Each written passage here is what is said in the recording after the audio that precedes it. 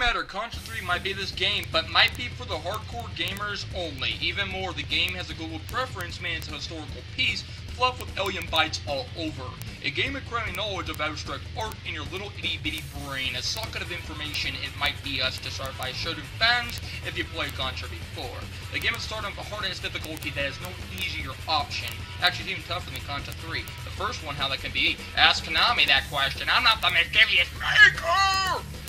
All over. Racing on water speeds, kick a lady in bikes. Or maybe you want to get eaten by a big vicious fishy jumper. Oh, and that looks like a scary big horror creature that's gonna haunt you in the Slenderman dreams.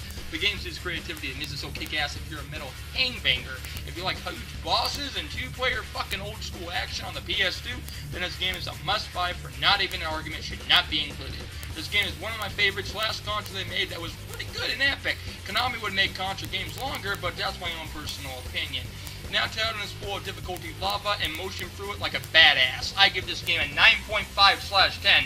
Fun for the hardcore gamers, and I just said, love the Burrito Master.